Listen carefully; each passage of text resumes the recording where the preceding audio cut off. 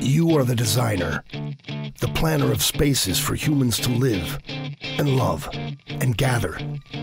You are the decision maker, the creator, the architect. You are the one with the big ideas, the right ideas, and you need tools designed specifically for you take your design to the next level.